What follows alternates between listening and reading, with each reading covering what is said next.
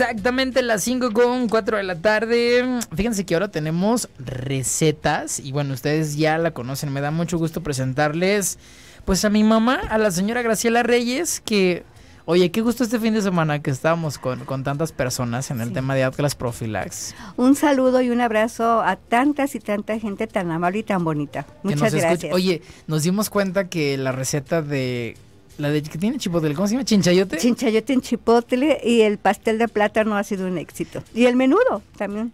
Oigan, estamos, eh, estamos, este, bueno, dimos la receta la vez pasada del chinchayote y del menú de setas, ¿verdad? Sí, ese tiempo. Pero mira, estaba en la, en la primera hora estuvo Lalo con nosotros, que ya se está yendo y pues bueno, es un gusto siempre que nos acompaña Lalo por acá. Él es productor de, de, de, pana hecho de manera artesanal, sin aditivos, sin conservadores, utilizando una variedad de granos impresionante que ahora ya no solamente es el trigo, ya se busca una variedad en temas de salud. Fíjate que me estaba dando la receta del pan de caja y le dije, oye, en, mi casa nunca hemos, hacemos pastel de plátano y hacemos pastel de zanahoria. Sí. Pero ¿por qué nunca hacemos pan de caja? Porque casi no acostumbramos, sí sé hacerlo, sé preparar. Acuérdate que cuando estudié me enseñan a hacer todo ese tipo de pan. Pero como casi no lo consumimos, por eso no lo hago. Es que, digo, a mí sí me gustan los sándwiches, por ejemplo. Lo que sí ah. me parece terrible y que no tolero es el sándwich del osito blanco. Ah, sí. Sí, sí, recuerdas cuando estaba chico. Bueno, no sé, tenías como cinco o seis años que íbamos a tomar los cursos de pastelería. Sí, claro. Digo íbamos porque tú me acompañabas. Donde a, mí se me hacían los cuernitos de hojalder y a ti no. Así mil hojas. El mil hojas. El mil hojas. Oye, yo creo que sí estaría. ¿Sabes por qué yo nunca me interesé en hacer un pan de caja? Creí que era muy difícil. No, no, es de lo más fácil. O sea, el pan de caja, el virote, las semitas, el pan de muerto, todo es muy fácil. ¿Te acuerdas aquel pan que yo hacía con queso por dentro? Que todo iba horneado, que les encantaba cuando íbamos de paseo. No lo recuerdo. Antes se llamaban baguette, pero iban rellenos desde... En la masa cruda se agregaba la comida, se horneaban y quedaban deliciosos. Fíjate que se me antoja hacer pan de caja. A mí no, no nos gusta mucho el pan, sin embargo de repente un sándwich eh, con un queso fresco, con requesón. Este, germinados. Germinados. A mí los trofólogos me regañan, pero nos gusta mucho hacer la manzana, la pera y el durazno. Y hacer un empan. Imagínense, por ejemplo, se me antoja un pal, un, pan de caja de granos germinados con nuez de la India y almendra. Este, a lo mejor también con un quesito parmesano. No, inclusive, mira, si lo quieres hacer vegetariano, simplemente con la nuez de la India, hacer una mantequilla eh, tipo crema, para decirlo así, para en vez de crema untarle la, la mantequilla de nuez de la India y ponerle requesón, pero vegano que viene siendo con el ocara de, de la soya. Fíjate que teníamos un invitado de quesos veganos que no vino y le mandamos un abrazo. Pero en el tema de los quesos veganos, también lo discutía con Lalo, no todo lo vegano es nutritivo. Depende de cómo lo hagan, porque a veces mm, yo la otra vez estaba viendo unas recetas y llevaban manteca vegetal o, llega, o llevaban este... Eh, ¿Qué era? Aceite Oye, pero en ese caso yo prefiero consumir un queso de buena calidad de vaca que un queso que está lleno de almidones, de sustitutos artificiales, que a lo mejor te van a dar la consistencia y quizás, muy probablemente el sabor, pero sin nada de nutrición. Sí, pero es muy fácil el queso vegano. Bueno, no el queso. Yo les digo que es tipo de requesón. Quien conozca lo cara, que viene siendo la fibra de, de la soya cuando hace sí cuando se hace la leche de soya simplemente es exprimirla muy bien agregarle poquita miel poquita sal y aceite de oliva y queda riquísimo y los niños y nadie sabe lo que está comiendo y es una delicia y muy nutritivo.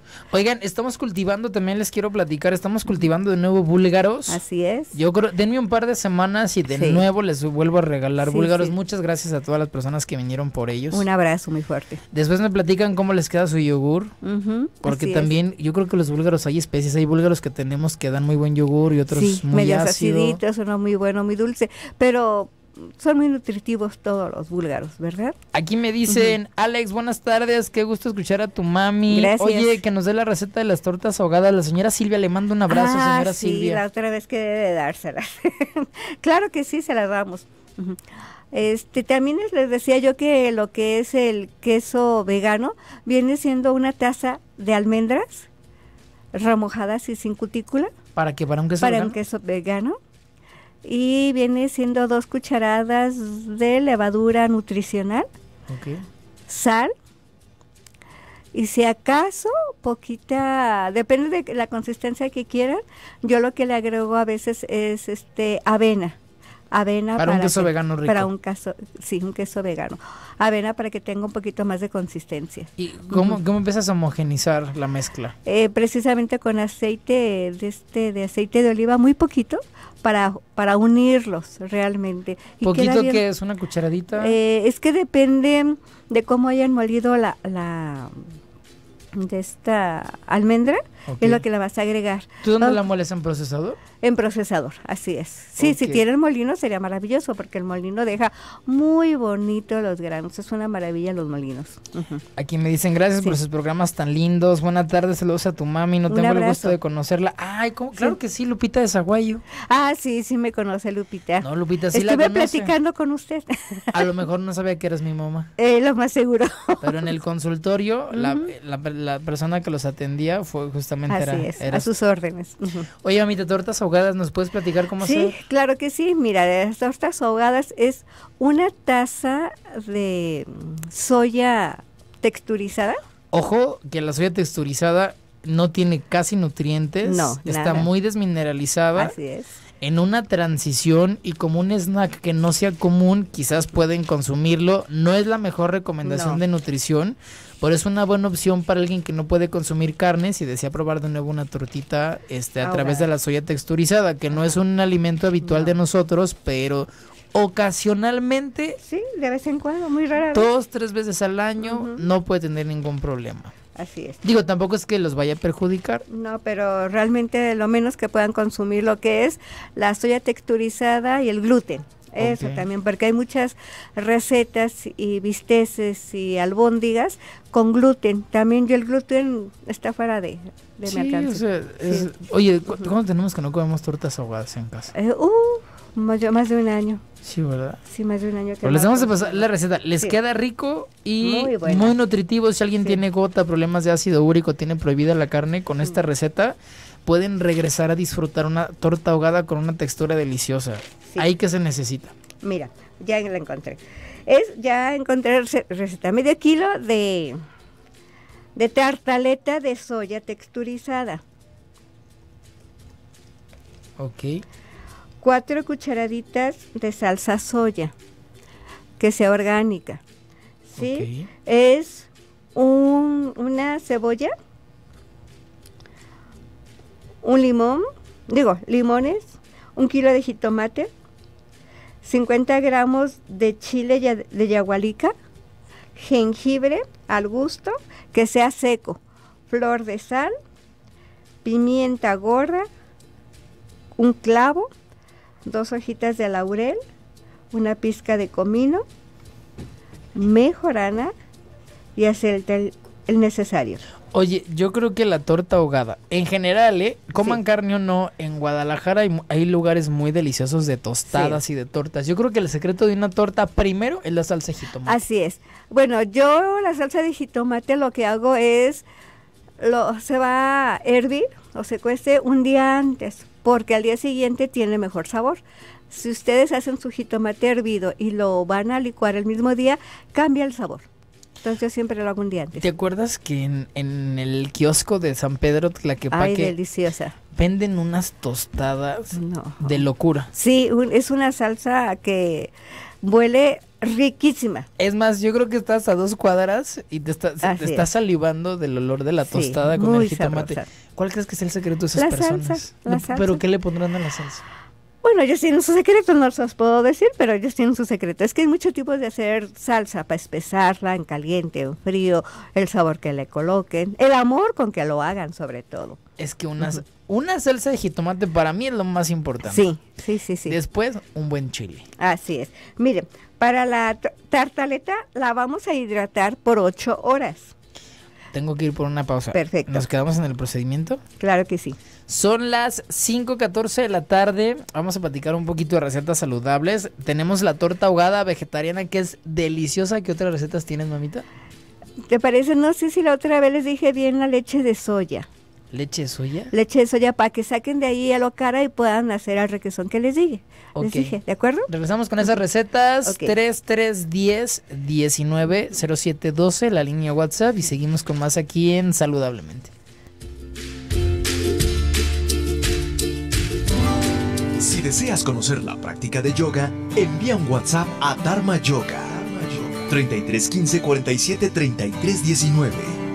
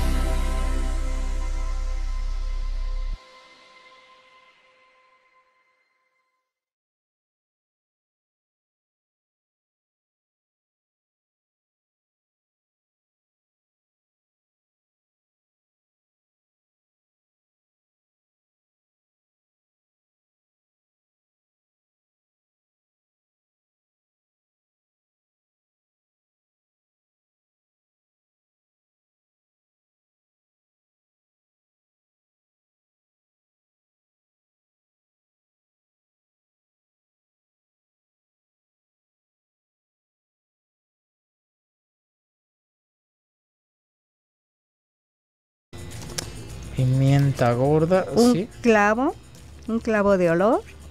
Un clavo, sí. Dos hojitas de laurel. Dos hojitas de laurel. Una pizca de comino. Mm, ok. Una pizca de mejorana. Pizca de comino. Pizca de mejorana. Aceite necesario. ¿Cuánto sería necesario? Eso es para adorar la tartaleta, la carnita, por eso es el necesario. Aceite necesario. Y dos dientes de ajo. Y dos, dos dientes, de, ajo. Ok. Procedimiento para la, para la torta. Sí, digo, más bien para la tartaleta. Se va a hidratar ocho horas la tartaleta en agua suficiente, que sea lo doble del agua de la tartaleta, ¿sí? En una olla grande toda la noche se deja, al día siguiente se exprime y se va a agregar en otra olla, este, que será como un litro y medio de agua. Se agrega un pedazo de cebolla, un pedacito de jengibre y los dos dientes de ajo con dos hojitas de laurel. Se va a hervir. Cuando sube el hervor, le bajan la flama y lo dejan hervir 45 minutos. Van a tirar, se retira de la estufa, retiran el agua caliente, dejan que se enfríe porque lo van a tener que exprimir hasta que el agua salga blanca con agua de garrafón, con agua potable, estirar el agua, exprimirlo, volver a agregar agua, estarla lavando prácticamente hasta que el agua quede cristalina. Sin almidones. Sin almidones. De tanto que se hierve, se deshace, se desparpaja o se hacen pedacitos, ¿sí? Ya tienen lista su cacerola con el aceite. Bueno, yo no le agrego mucho, que serán unas, un chorrito, ¿sí? Va al gusto también.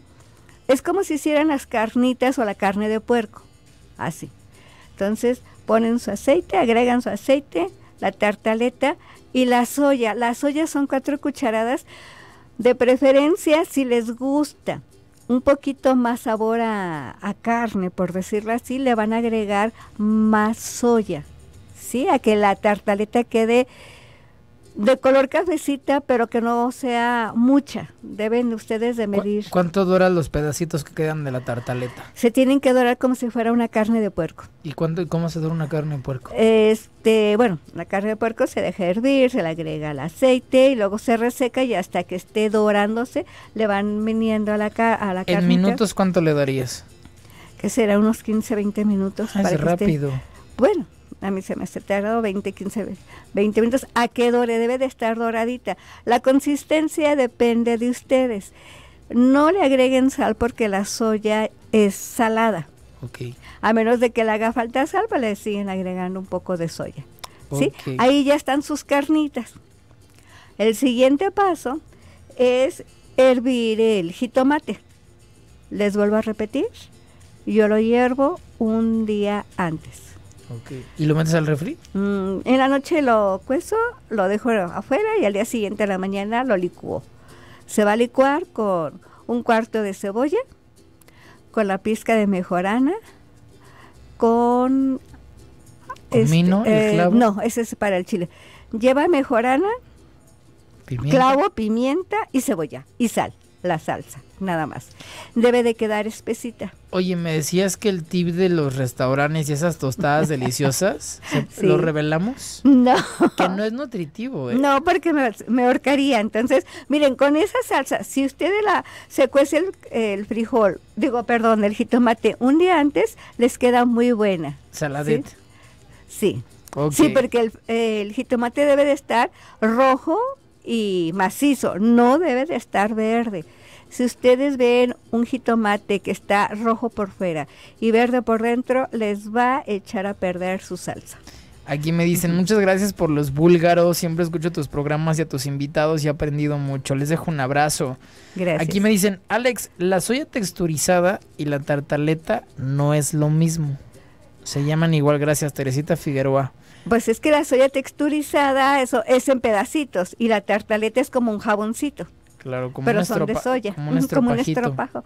O yo digo que es como un jaboncito de manos de ese tamaño y no en cualquier lado la venden. ¿Sí? Mira, por aquí me dicen, Alex, buenas tardes, saludos para ti, para tu mami. Hoy mero me estaba acordando de tu mami, ¿sabes? Yo creo que la llamé con el yo pensamiento. Creo que sí. Excelente tema, que Dios los bendiga siempre. Muchísimas gracias, Gris. Te dejo abrazo, les mando fuerte abrazo para ti también. Así es. Y dejen decirles el chile de yahualica, porque ese también es importante. El chile lo van a hervir con el ajo, un, un diente de ajo, un pedacito de jengibre, un clavo, una pimienta. Ya que hierve, lo van a licuar con una pizca de comino, mejorana y su sal y a hervirla que quede bien espesito. Mientras más chile le agregan, más espesito queda. ¿Cuál será el secreto de un buen chile? Todo consiste en los chiles, porque hay unos chiles que decía tu abuelita Luz, que cuando el chile es nuevo pica mucho Y cuando el chile es viejo, no pica nada. No, eh, y tiene la razón, te voy a decir, porque ¿recuerdas cuando compré un chilito, el, el de soya que estaba bravísimo? Ah, sí. Ahora ya no pica. Así es. ¿Y qué tiene con nosotros que unos cuatro meses? Más, ¿no? Menos. No sé. No. ¿Cuál chile? ¿El chilito ese? El bravo, el, el chiquitito. No, no, tiene un mes y medio, hijo, dos meses máximo. No, no. Nos acabamos el primero y es el segundo. Pero ya no pica. No, es que es lo que decía tu abuelita, que el chile, un chile viejo no pica, un chile nuevo es súper picoso. Y lo has visto en algunas comidas. ¿Tú cuando vas al, a los mercados te das cuenta cuando el chile es nuevo viejo? No, desafortunadamente no. Yo hasta que esté ya estado cocinado es cuando me doy cuenta que pica. Tú has visto, hay un menudo que me sale muy picoso. Y hay veces que no, nomás da un rico sabor. Yo te digo, es que es, es chile nuevo. Claro. Ahí sí no puedo. Yo en lo particular. Oye, también buena mano de la cocina. También. Ante todo hacerlo con mucho amor, ¿verdad? O sea, yo considero que se ha visto que cuando uno está molesta la comida sale horrible. cuando a todos nos consta. sí. Cuando uno está alegre, la comida, así sean frijolitos, son deliciosos. Y sí, ¿eh? porque hay gente que hasta los frijoles quedan buenos. Sí, deliciosos, o sea, muy buenos. ¿Qué otras recetas tenemos? Decía yo que si quieren la leche de soya para que vean cómo se hace la leche de soya, sacar el ocara de, de eso y hacer el requesón vegano, como le dicen. De hecho, se puede hacer un cevichito delicioso con la ocara. Ah, sí. Oh, con la ocara es muy versátil, desde ceviche y sabe a pescado. Este, pueden ser galletas, lo pueden utilizar como harina, lo pueden utilizar para el queso vegano. Sí, se me hace delicioso. Oye, que en las propuestas veganas y vegetarianas el cevichito se usa con mucho éxito el coliflor. Sí. Que es un poquito meteorizante, casi todos nos inflamamos con el tema de la coliflor. Este, pero es delicioso. Sí, inclusive ahorita recordé de algo. ¿Te acuerdas que una vez nos preguntaron sobre el arroz del coliflor? ¿Arroz? Sí, que aquí estaba yo en tu programa y nos dijeron, oiga, ¿qué, ¿cuál es el arroz del coliflor? Simplemente hay un procesador que deja el coliflor como al tamaño del arroz. yo ya lo estuve viendo eso, la otra vez chequé y dije, ah, es el nomás este, pues procesado para que quede el tamaño de un arroz, porque inclusive puedes hacer sopa con el coliflor, hamburguesas, miles de cosas con él. Mira, el coliflor se me hace rica, pero en porciones pequeñitas, porque si inflama. No, es muy, muy, muy... Yo no conozco una persona que no se meteoriza, que no se inflame con el tema de la... Igual con el brócoli, el brócoli es exquisito. Delicioso. Es muy bueno para la salud masculina después de los 40 años porque es un antitumoral extraordinario, tiene antioxidantes y en temas de próstata es buenísimo, pero sí te inflama también. Sí, se dice que algunos doctores dicen que es por la colitis y gastritis que tenemos, o sea, que tenemos un poquito de mala digestión. No, y además, no, son meteorizantes, aunque no tengas esos padecimientos, son, son alimentos meteorizantes. Yo tenía una maestra que para quitarles un poquito los gases le agregaba cuando los cocía este carbonato, una pizca de carbonato. No sé si funcione, pero ya lo hacía así. Aquí me dicen, Alex, buenas tardes, ¿me pueden decir cómo se hace la lechada de ajonjolí o almendra? Uy, es bien sencillo. Sí, a ver. ¿Tú les das la de almendra? Pues sí, viene siendo una... Hay que dejar remojar 10 almendras por la noche, en la mañana, digo, para quitarles el ácido fítico y que el cereal o la semilla se active. En la mañana le quitamos eh, la cascarita y se licúa con una taza, taza y media de agua y la fruta favorita. Así es. Y si lo quieren endulzar con dátil, da muy buen sabor el dátil. ¿Sabes qué veía que hacía Rebeca Solano? Ella dejaba remojar por dos días, cambiándole cada 12 horas el agua a las almendras y luego las metía al refrigerador. Se hacen más blandas y las como casi las germinas. Se inflan y las deja deliciosas. Sí, sí. Así sí, me encantó. Hoy ya casi tenemos que irnos. Son 5, ya 29 de la tarde. ¿Vamos a regresar con leche de soya? Sí. ¿Qué hacer con la ocara que se puede hacer un cevichito? A mí el cevichito de ocara no me sabía pescado. Eh. Mm, bueno, a mí si, se me, supiera pescado no me lo comería. bueno, es que la textura como queda parece como si fuera pescado, pero no es ocara. No, yo no creo que ni la textura, pero es deliciosa. Se puede hacer un, se puede hacer requesón con la ocara, de, con, la fibra del grano de la soya. De la soya, exactamente. Se puede hacer galletas como si fuera harina, hotcakes, o sea, es muy versátil, ¿eh? Se pueden hacer tortitas como si fueran de papa. Qué rico. y es una fibra que todavía conserva mucha nutrición, que queda como residuo después de crear tu leche y mucha fibra. Así es, bastante fibra. Les doy de nuevo línea WhatsApp si quieren compartirnos algo o seguir preguntándonos sobre el tema. Les doy el teléfono 3310 19 07 12. Seguimos con más leche de soya y requesón de soya aquí en Saludablemente. Así es.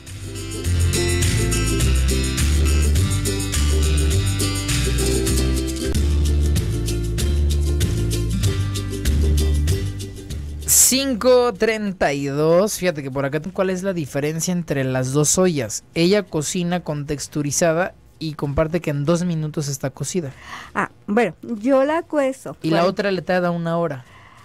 Mira, yo las dos ollas, texturizada y tartaleta, le doy el mismo procedimiento para quitarle los almidones y evitar que te inflame. Ese es mi procedimiento en mi persona es que se dejan remojar. Sí, yo la dejo remojar y luego la cuezo 45 minutos para quitarle todos los almidones. Si no lo hacen así, la soya texturizada, la chinita, la que son como grumitos chinitos, que cuando la compras no ves, eh, es muy dura, también es súper meteorizante, súper inflamatoria. Así es, eh, por eso yo la dejo remojar y luego se cuece 45 minutos. Pero lo pueden hacer como ustedes gusten. Esa es mi forma de hacerlo. Inclusive yo la lavo mucho y hay gente que nomás tira el agua, la exprime y la guisa. Yo no personal no lo hago así para por la inflamación y los almidones que pueda tener la soya. Y que además no la usen demasiado porque no es de rica en nutrientes. No, tiene nutrientes. Es, puede ser un poquito este, pesada para el intestino. Úsenla con mucha moderación y de manera típica, que no sea un consumo regular. Ah, de repente a nosotros que se nos antojan tortas ahogadas, pero muy rara vez, cada una vez, yo creo que unas cada seis meses o más. O más, tal vez. Puede ser un buen platillo. Así es. Y yo les voy a dejar terminaré de decirles lo de la torta ahogada. La cebolla, yo hago cebolla desflemada con mejorana. Si les gusta mucho el picante, le van a agregar un chile habanero, así picadito finitamente. Esa es una forma de preparar la cebolla para las tortas ahogadas. O pepino, si gustan también con pepino, pepino y chilito también sabe bueno.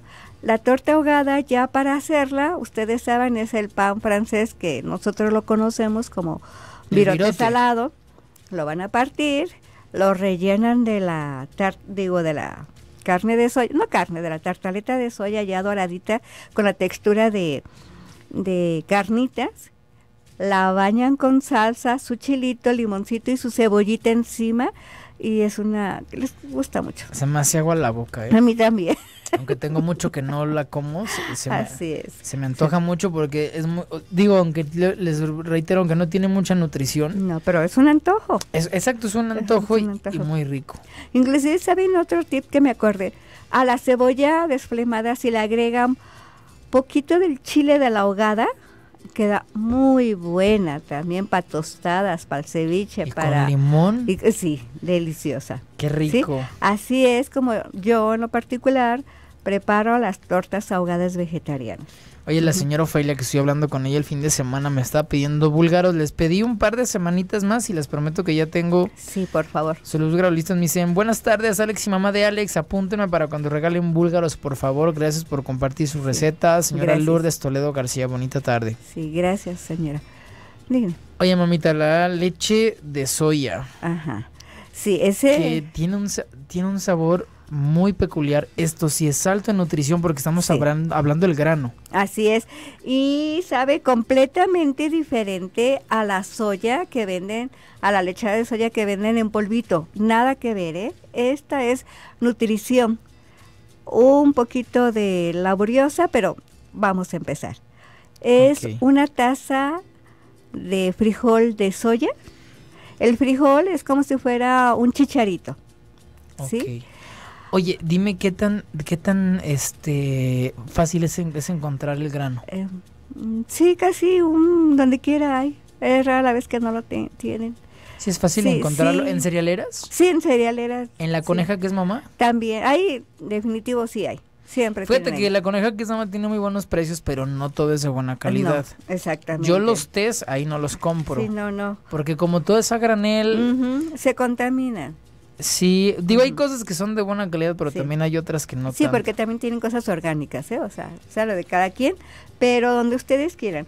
Es una taza de, de frijol de soya. El frijol de soya yo lo dejo remojar toda la noche con unas gotitas de extracto de semilla de toronja. Retiro esa agua y lo voy a licuar en dos litros de agua, bien licuadito. Aparte, ya tengo en una olla otros dos litros de agua. Cuando suelte el hervor, yo le agrego lo que tengo licuado y con una cuchara o una palita de madera lo voy a menear constantemente, estarlo moviendo. Cuando sube la espuma, yo retiro la espuma completamente y lo dejo hervir por media hora o 45 minutos a fuego bajito. Al retirar lo que es la espuma, ya no se va a tirar, ¿eh? O sea, porque si no retiran la espuma, se va a tirar como si fuera la leche cuando hierve, ya ven cómo se derrama. Así es esto. Oye, ¿cuánto tiempo hierve a fuego bajito? De media, media hora, media hora 45 minutos, ¿sí? Un detalle, le van a agregar una pizca de sal y una pizca de azúcar. Si es primera vez. ¿Azúcar eh, Azúcar moscabado, sí, así, una pizca. Si es primera vez que van a preparar esa leche o la van a dar a los niños, como si el sabor es muy diferente, yo para los niños la disfrazaba con un pedacito de canela para que tenga mejor sabor. Conforme se van acostumbrando al sabor, ya le puedes retirar la canela, o sea, ya no hervirla con canela y simplemente con una pizca de sal y pizca de azúcar muscabado. Hierve, la dejas enfriar y la base a exprimir o con la, primero se cuela y después ese gabacito que está sobrando yo lo que hago es en un lienzo exprimirlo completamente a que me quede eh, como si fuera un tipo requesón todo el gabacito que viene siendo la, la fibra. Eso es lo que se cuela. Eso es lo que se cuela. Y eso que queda es alto en fibra y con eso se prepara lo que les comentaba del queso vegano. Otra información, la leche no laxa. Lo que pasa, que como tiene tanta fibra, cuando la consumen, mucha gente se limpia del estómago. Pero una vez que esté limpio el estómago, te puedes tomar hasta medio litro y no te pasa nada. Qué rico. Mira, eh, te voy a compartir por acá mensajitos.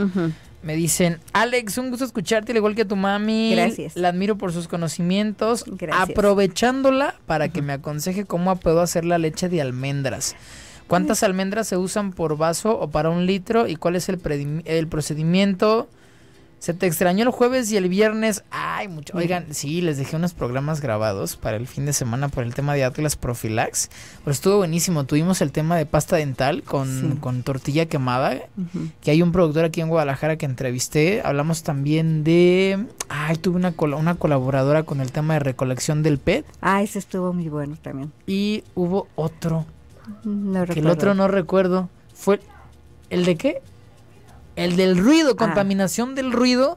Oigan, que por ahí tenemos la página de denuncia, ¿eh? Para quien tiene vecinos. Voy a invitar a, la gente de quiero invitar a la gente de Secretaría del Trabajo y Prevención Social para temas de contaminación, quienes vivimos cerca de industria que contamina ellos son los que se encargan de multar y está bien interesante, se los, se los tengo pendiente. Oye, amita, leche de almendras, ¿tú qué experiencia tienes eh, con leche de almendras? Bueno, la leche de almendras, sí, como tú lo dijiste, o sea, son seis almendras remojadas, eh, licuadas, no tiene Pues es que varía, es dejar remojar las almendras en la noche.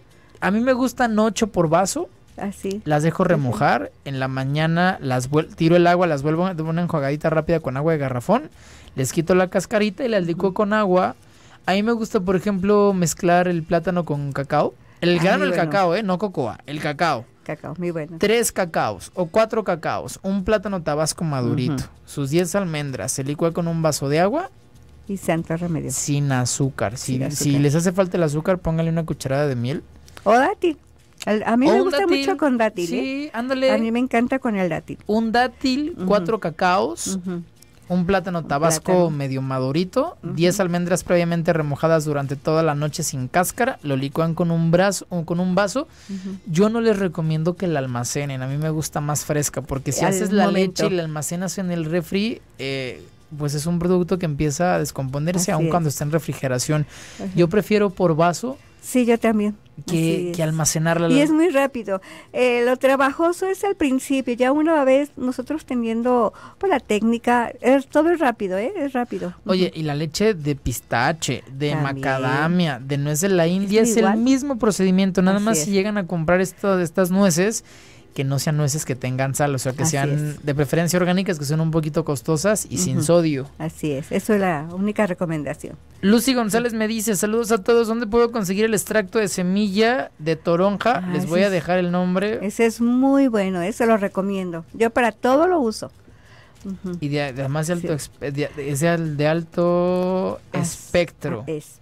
Saludos Alex, a ti y a tu mami y el equipo. Soy Griselda Sánchez Franco. Un abrazo. Y porfa, apúntame para los búlgaros. ¿Crees que pudiera decir cómo hacer el tofu? Fíjate que la receta del tofu me la dio Almita Valadez. Sí, bueno, yo tengo Que le mando un abrazo, ya tiene mucho que no viene. Traigo uno, déjame Es que el tofu se hace. a mí me enseñó a hacerlo, ¿eh? Ah, pues a ver. Se hace con la leche de soya y se cuaja con limón. Ah, así se Es todo el procedimiento, o sea, se corta con limón. Sí y se hace con leche, pero ¿sabes que tú tienes la receta a la mano? Déjame ver, no me recuerdo como que sí, no estoy muy segura, porque sí se corta con limón, nomás que hay quienes le agregan de esta, mm, la que te dije en la mañana, es hacer... Eh, ¿Qué será? Nutricional, lo que le Ah, levadura no, no, Almita no, no le ah. agregaba. Voy a invitar a Almita porque ella es experta también en el tema de ah, alimentación. Me dicen por acá, felicidades. Ay, qué bonito mensaje nos dejan. Leti González, le mando un abrazo, Leti. Qué bueno que nos sintoniza. No, me lo traje, hijo. Me dicen, buenas tardes, el cacao lo usa sin pelar ni tostar para el licuado. No, fíjense, yo uso dos cacaos. Uso un cacao fermentado y uso un cacao muy amargo. El fermentado lo compro aquí en Guadalajara y el que es muy amargo, que viene tostado, lo traigo de Oaxaca. Me es indiferente, ¿eh? o sea, realmente con que sea cacao natural a mí me gusta tostado por las notas amargas que dan un sabor más a chocolate, que tienen notas como a café, que tienen esas notas como amaderadas. Me gustan mucho, ahora sí que ya depende del gusto. Así es. Pero que sea cacao natural, no vayan a utilizar cocoa, ¿eh? porque la cocoa también ya está totalmente desmineralizada. Mi último mensaje antes de irnos, Alex, me apunto para los búlgaros, soy Consuelo Quesada. Ahora no los tengo de regalo, pero espérenme un par de semanas ya los estamos cultivando para que se reproduzcan y con gusto se los vuelvo a regalar. Voy por la última pausa, son las 5.44, les dejo de nuevo mensajes eh, a través, les dejo más bien el teléfono para que manden mensajes 3310 19072 y seguimos con más aquí a Saludablemente.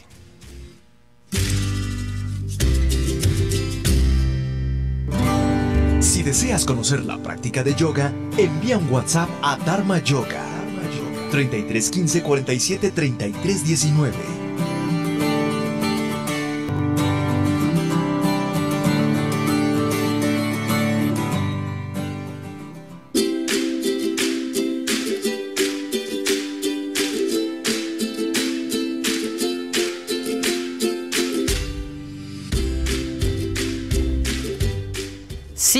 5.48. Nos falta el cevichito de Ocara y el requesón. Y el requesón, que Oye, que son muy similares en preparación, ¿no? Sí, sí. Bueno, el ceviche es nada más la salsa mexicana, que es jitomate, cebolla y cilantro.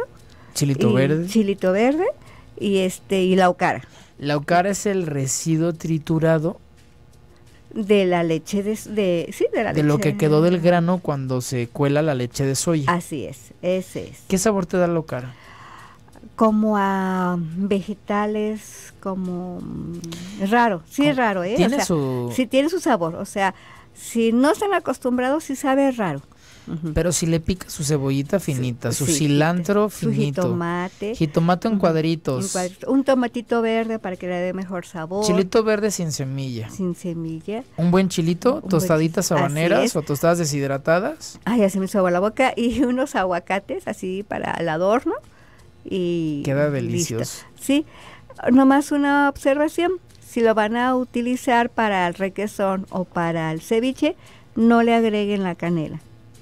¿Sí? Si no te vas a ver a canela. Así sí, va a ser dulce. Si lo quieren para galletas, que es muy fácil, eso es lo que sobra de la taza del frijol de soya, le van a agregar, eh, va una cucharadita de bicarbonato, le van a agregar dos cucharaditas de linaza molida, ¿sí? Un poquito de la misma leche de soya y dos cucharaditas de ghee. Va a quedar una mezcla un poquito pegajosa. Con una cuchara, la consistencia es como si hicieran tortitas de papa. ¿sí? Y las pueden hacer en rueditas al horno o dorarlas en un comal con muy poquita este ghee o aceite, de preferencia de coco. Ok, aquí me dicen, saludos Alex, a ti y a tu mami, me perdí, uso la leche de las almendras que remoje toda la noche. Sí, Que, que, remojen para que se activen, se hidraten y eliminamos el ácido fítico. Es como activar eh, la nuez o la semilla para que pueda ser licuada y se aprovechen mejor tanto los nutrientes. Y la liberación del ácido fítico es como eh, la protección natural que tienen los granos y los cereales antes de que no los podamos comer. De hecho, aunque no hagan lechado, lo ideal es que las almendras se dejen remojar. La señora Estela, Alex, saludos también para ustedes. Tengo cacao en polvo orgánico, ¿me pueden decir cómo y para qué lo puedo usar? Con plátano y agua les queda una lechada deliciosa. Ah, eh, pueden también incluirlo con 10 almendras remojadas o poner 6 macadamias. La nuez de macadamia es riquísima. Aquí es un poquito escasa y es costosa. pero vale la pena, ¿eh? nuez de la, la nuez de la India me encanta para lechada también sin sal. Sí. Porque si no, sí les va a dar un sabor espantoso cuando o simplemente le ponemos... dos cucharadas de avena, un plátano o un mango y una cucharadita de, de cacao. También da muy buen sabor. Oye, el agua de pitaya que ahorita estamos en plena temporada de pitayas deliciosas, no sé. O un licuado de pitaya con cacao. No, no se me antoja la pitaya con cacao. Sí, es que hay pitayas de colores y según el color es el sabor. Pero imagínate el cacao negro, va a aparecer ahí un lodo semilludo. Pero hay este pitayas blancas o amarillas. ¿Cuál será la más rica? A mí me gustan mucho las que son como rosas, así concentradas. A mí me gustan las chiquitas. A mí me gustan las chiquitas porque mientras más chiquitas, más dulces están.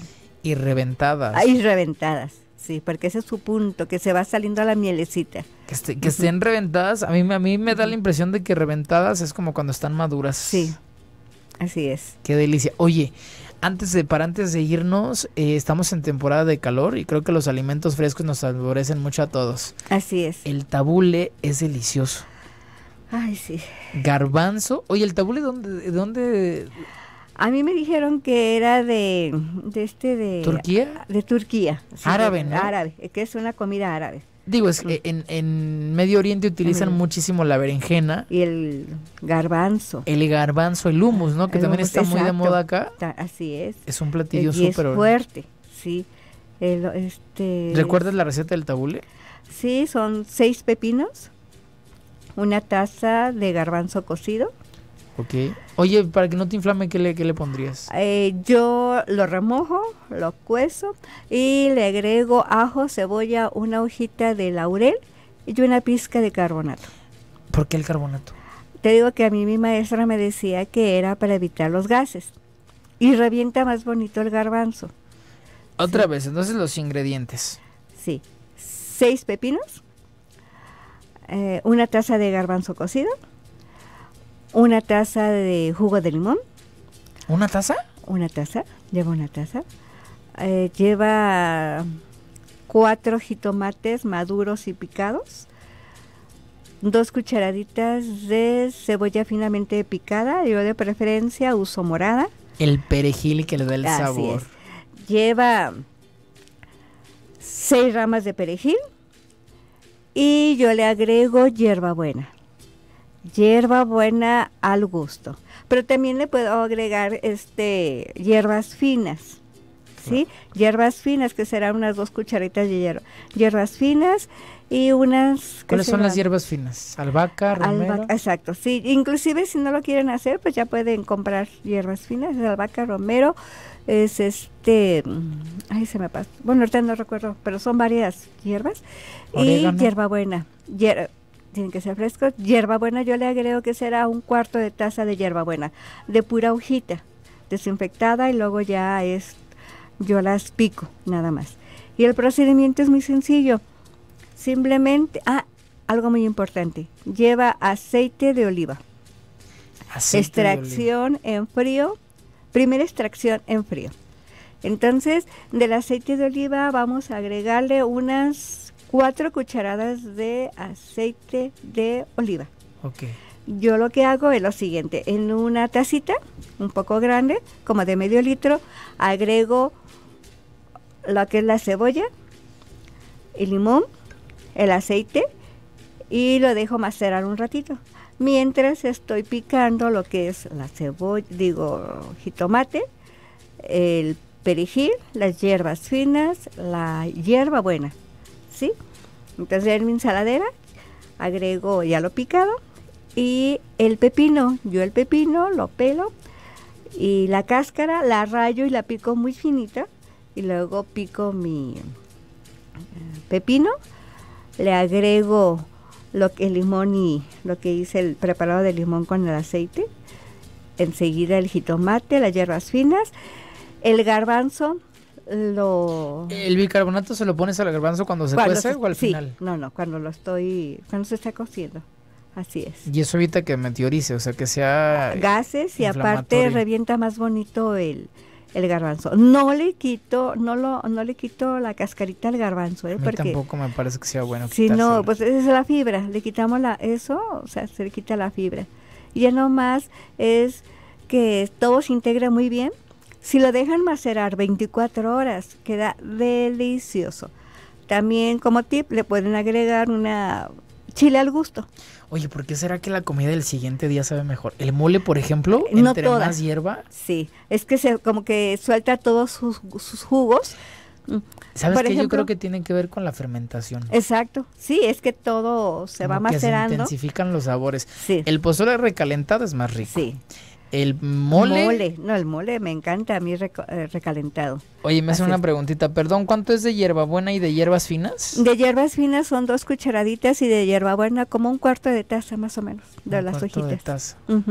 Y si le falta más hierbabuena, si les gusta, le agregan más hierbabuena, no hay problema, ¿eh? A mí lo que me encanta es el perejil, que la mezcla del perejil con limón, garbanzo, jitomate, cebolla y hierbas finas. Es muy bueno el sabor. No, hombre, con, oye, unas galletitas, unas tostaditas. Así es. Sí, con unas tostadas horneadas sabe muy bueno. Y les digo, recién hecho tiene un sabor. Mientras más pase el tiempo, queda delicioso. O sea, es muy bueno y muy fresco para esta temporada. Ya casi tenemos que irnos. Mamita, ¿tu teléfono lo damos al aire? Sí, 33 19 33 31 67. ¿Nos lo repites de nuevo? 33 19 33 31 67. Mi nombre es Graciela Reyes para servirle. Oye, voy a, eh, a tratar de hacer pan de caja para ver qué tal me va en casa. Ah, muy bien y después paso una receta de cómo me quedó ah, el pan de caja.